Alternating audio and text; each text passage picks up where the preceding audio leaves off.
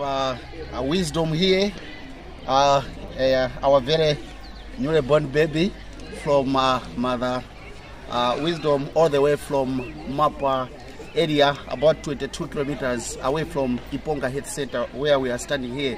This is uh, Iponga in Karonga district.